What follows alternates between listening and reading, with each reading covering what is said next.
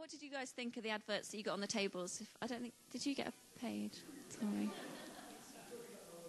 Oh, okay, yeah. Um, any points on the adverts and what they what they kind of say, how they speak to you? All suddenly goes quiet. No, I know you're talking before, unless you're just chatting about your day. Who was on the rich list? Oh, you were thinking about who's on the rich list. Yeah. Any other points on the adverts and how they speak to us? What makes adverts stand out and how they work? It took us a while to work these ones out. Have you got? Have everyone got the same ones? Yeah, I think so. Yeah, the K- the KFC and the Audi ones. Yeah. So that, um, Alan was pointing out the advert, the KFC and the burger-shaped hole in the centre of the child. Sounds way creepier. Um, the idea that the one thing missing from this child is a KFC burger, apparently. Yeah. Yeah, and the car advert, I thought that one was quite clever. It was saying it's got like a, the family tree, the Audi family tree, dating back to their first car. Yeah, and then the fat cat. Who's the fat cat? Yes, it's Simon Cowell, apparently on the Sunday Times Rich list. As a yeah, yeah, yeah. So they rely on a little bit of earthly knowledge. Um, but yeah. Apparently they made us some of the best billboard adverts according to the poll from 2015. Um, but yeah, it was an opening thing to kind of get you thinking about um, the difference between earthly wisdom and spiritual wisdom um, in line with the passage that we've got today, which is taken from 1 Corinthians uh, chapter 2. Um, and a kind of bit of context for, for this letter. It's the first letter to Corinth, um, written by Paul. And according to this one, it was written around AD 55. But I imagine that's hard to kind of pinpoint an exact date. Um, and from the letter, it hints that the church, the city of Corinth, um, and its church were having a lot of disagreements um, over various different things, um, morality, and how to fit in as Christians in, in an immoral world. And to me, that was quite relatable. Um, the issue of how do we be the church in a world that often doesn't want to hear and often asks for exact opposite of that message. Um, so Paul's letter is full of both um, helpful practical tips on being being that light and that voice, but also quite a lot of rebuking on how not to be that voice. Um, but this passage today um, is up on the slide, and I'm going to read it through with you. This is from the um, New Living Translation, and it's just the whole chapter of chapter 2. And Paul writes When I first came to you, dear brothers and sisters, I didn't use lofty words and impressive wisdom to tell you God's secret plan, for I decided that while I was with you, I'd forget everything except Jesus Christ, the one who was crucified. I came to you in weakness, timid and trembling, and my message and my preaching were very plain. Rather than using clever and persuasive speeches, I relied only on the power of the Holy Spirit. I did this so that you would trust not in human wisdom, but in the power of God. Yet when I am among mature believers, I do speak with words of wisdom, but not the kind of wisdom that belongs to this world or to the rulers of this world, who are soon forgotten. No, the wisdom we speak of is the mystery of God, his plan that was previously hidden, even though he made it for our ultimate glory before the world began. But the rulers of this world have not understood it. If they had, they would not have crucified our glorious Lord. That is what the scriptures mean when they say, No eye has seen, nor ear has heard, and no mind has imagined what God has prepared for those who love him. But it was to us that God revealed these things by his Spirit. For his Spirit searches out everything and shows us God's deep secrets. No one can know a person's thoughts except that person's own spirit. And no one can know God's thoughts except God's own spirit. And we have received God's Spirit, not the world's Spirit, so we can know the wonderful things God has freely given us. When we tell you these things, we do not use words that come from human wisdom. Instead, we speak words given to us by the Spirit, using the Spirit's words to explain spiritual truths. But people who aren't spiritual can't receive these truths from God's Spirit. It all sounds foolish to them and they can't understand it, for only those who are spiritual can understand what the Spirit means. Those who are spiritual can evaluate all things, but they themselves cannot be evaluated by others. For who can know the Lord's thoughts? Who knows enough to teach him? But we understand these things, for we have the mind of Christ. So, what stood out to me when I read that passage was this split, this um, separation between earthly wisdom, what the world teaches us, and what God teaches us, what the Spirit teaches us. And um, I thought we could do as a kind of discussion if we split the room in half, and one half discusses what earthly wisdom would be um, in the context maybe of our daily lives or in, the, in this passage, and the other half discusses spiritual, godly wisdom. So if we kind of split here, and these two tables, you discuss what earthly wisdom is according to that passage and your lives. And this kind of side does um, godly wisdom. And then we'll come back together in a second. Okay.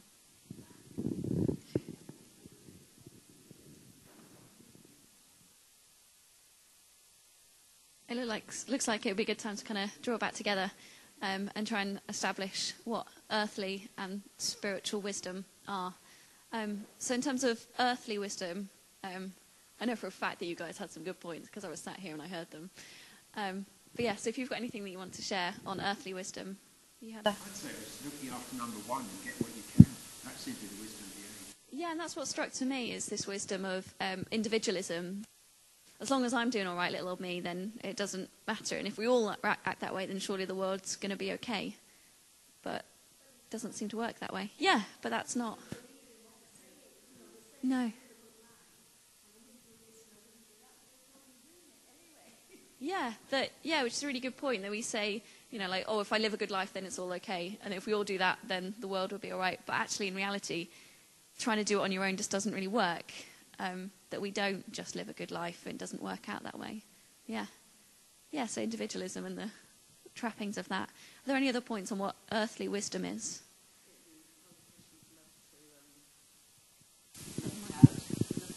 they have the answers. They have a wisdom of a sort in their eyes. They make massive decisions based on what they know, and I'm sure at the time it might be well meaning, but they have their own hidden agendas. So, I mean, that is just, just brings total confusion, doesn't it, really? Yeah, confusion over politicians and people in power telling us what is right and what is wrong. Yeah, and that often they are only seeing a very small viewpoint that is blinkered by their own um, biases and needs. Um, yeah. So earthly wisdom, all in all, is not. I liked Gary's point that he said that it's not wisdom. It's it's the exact opposite. It's usually, but it's made up, tied up to look this way that it is wisdom. But in reality, it's it doesn't really work that way.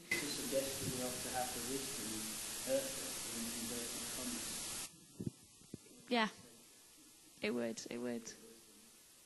Yeah, no, it's a good point. And it's more the kind of earthly worldview, isn't it, than any real wisdom. Um, how about spiritual wisdom? What, what was discussed over this side of the room? I think we were saying that godly wisdom is kind of back to front to everything that we're taught by the world. And um,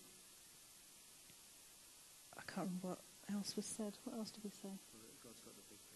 Oh yeah, that, um, and it, we were reminded of the um, passage where they're choosing the kings, and David is the weakest, and it says, "Man looks at the outward appearance, but God looks at the heart." So God sees everything, whereas we can only make judgments on what we see and know, but God can give us the bigger picture.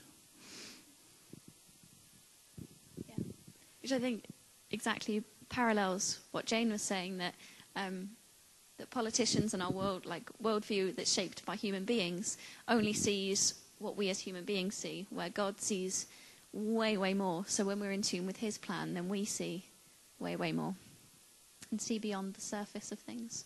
Are there any other points on spiritual wisdom as well? Okay, we'll draw it together.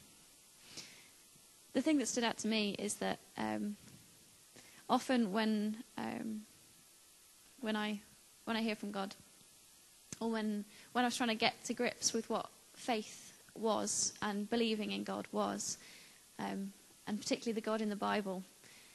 It always struck me how much how much it is an exact opposite of what the world taught me, and trying to remove all those trappings of the world to try and get in line with Him, I found really really difficult, really hard because I was very much a part of the world. Um, I was at university and I was being taught, uh, I was studying politics. So, funnily enough, a lot of it was very much teaching you the world view, where they're like, you're learning to question it, but actually you're just, you're just learning the world view.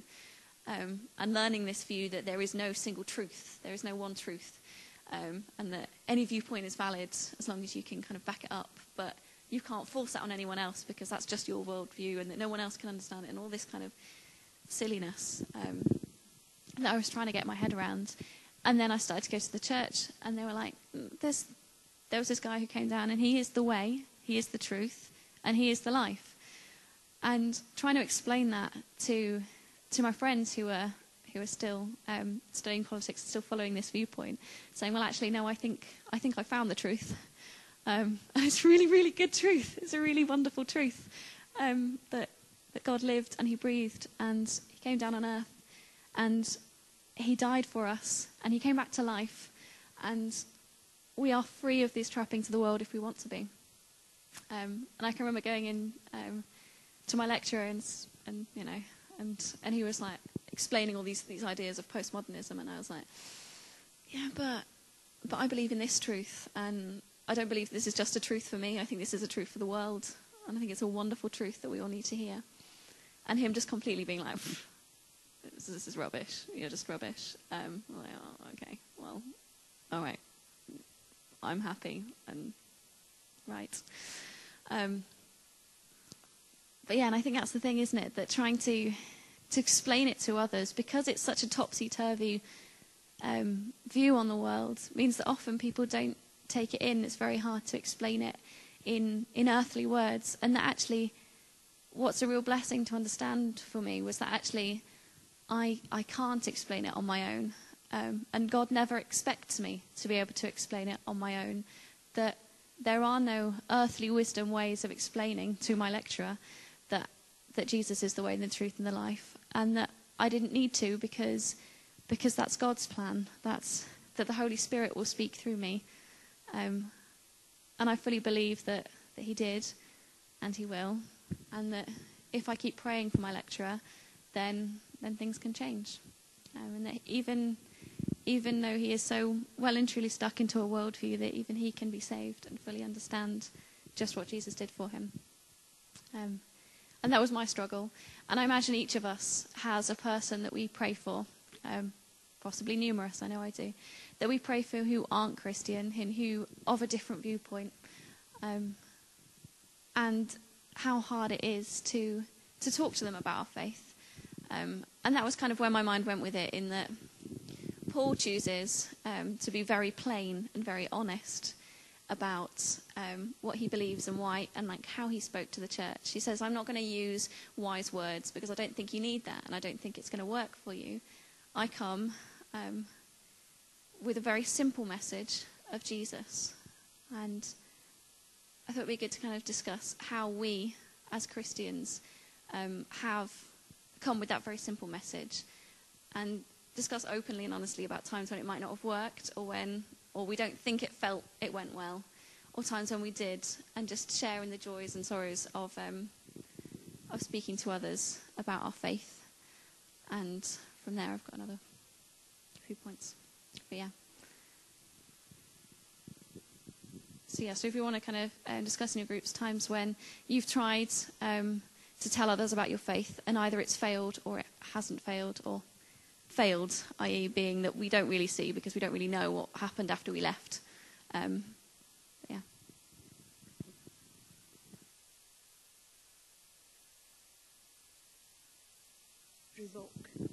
Your lecturer saying, you know, he believed in history, but this is history, and yeah, and uh, God has tried to show us the way all the time, always. Yeah, that's a, yeah, it was a really good point. Um, my my lecturer was um, was a history lecturer, um, so he'd be like, yeah, but no, but history is proof that it's wrong. But actually, yeah, this, this book, this book that we read is history, um, evident history. But to him, that wasn't. That's it's not because because the message that's behind it. That if he had to accept that the things in the Bible happened, then he'd also have to to consider at least that if Jesus did exist and he did do what he said he did, then he's either mad or or he's the son of God, and yeah. And so it's, often it's a it's a topic that's avoided, isn't it? But yeah, that's the reality.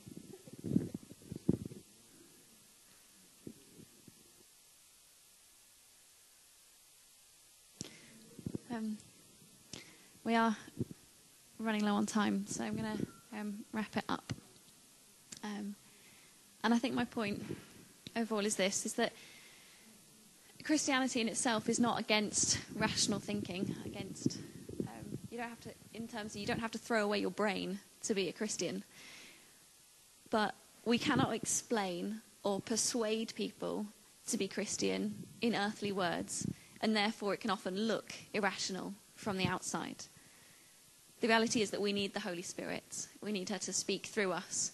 And often um, it's not in the words that we say, but in the choices and the actions that we make around people. Um, one case I had of this was when I was uh, when I was at university again. Um, I was really shocked by um, the kind of alcohol culture that's part of university. Um, and one night I was um, I was still a very new Christian, and I decided uh, to pray into that. And I felt God kind of telling me, know, you're still part of that culture right now. I was like, oh, yeah, I am. So I, from that moment, stopped drinking. I, I was like, um, which was a very tricky thing to then explain on the next night out. Like, oh, well, you haven't got your usual drink. And I'm like, yeah, no, I'm, I'm not going to do that anymore. I'm like, why? And I'm like, um, God told me not to. and being like, what? Um, are you insane? No, um, but I don't like who I become when I'm drunk, and I don't like who we all become when we're drunk because it just seems silly to me that to be able to have a good night out, we have to to have to get inebriated. Um, that to be able for us to have a, a really close conversation, we have to we have to have had beer. Just didn't quite make sense. So I'm not going to do it anymore. I'm like, I'll, I'll still come out with you guys, um, but if there's bits that I don't like, I'm just gonna I'm just gonna go. Um, like, all right, leave to it. And actually, they were incredibly um, supportive of it. And I still had a great university time. I'd still go out with them, um, but I'd choose not to drink, and I'd choose not to do all the other stuff that goes with it. And I had some amazing conversations with people um, in a club, um, and often um, it got to a point where, like about a year in, that um, a friend of mine who was one of those that I used to get really, really drunk with, he came up and he was like, "Oh, I'm in a really, like, really tough place right now," um, and um, he lost his parents recently. And he was like, "I know you're a Christian because, because that's why you don't drink, isn't it?" I was like, "Yeah." Um, will you pray for me? Like, okay. And he'd been touched not by my words, not because I've been like, "Well, Jesus loves you, um, and you should know this," but by the actions that I'd chosen to make. Um, and to me, that was a time when I was like, oh, okay, all right, thank you, God. Not because you changed my life, but because you helped me change that person's life just a little bit. Um, and yeah, I think that's my kind of message. That it's also that thing where if, if faith could be explained, if we could use earthly wisdom to explain God, then He wouldn't be God. If we like, if our minds could could fully point by point explain faith exactly, then that wouldn't be a mystery. It wouldn't be wouldn't be the creator of the universe if we could fully understand that. In that we can't fully understand the universe right now. Science keeps changing how we explain all these details. So how much more amazing is its creator, and therefore how much harder it is to get our heads around him. That therefore we can't, so we don't need to explain him in that way. But we can choose to explain him through our actions and just through those little little moments. Um, so on that point, I want to finish and um, and if you'd like to kind of silently pray, um, then feel free to. Um, and I'm just going to invite the Holy Spirit to speak through us um, and to touch the things that might have been on our heart. Or is there someone else who's supposed to be doing praying? There's no one else who. Have you got prayers? And no. Okay. Good. All right. Suddenly thought, oh, if I just cut into someone else's, they've got a grand prayer idea planned. No. Okay.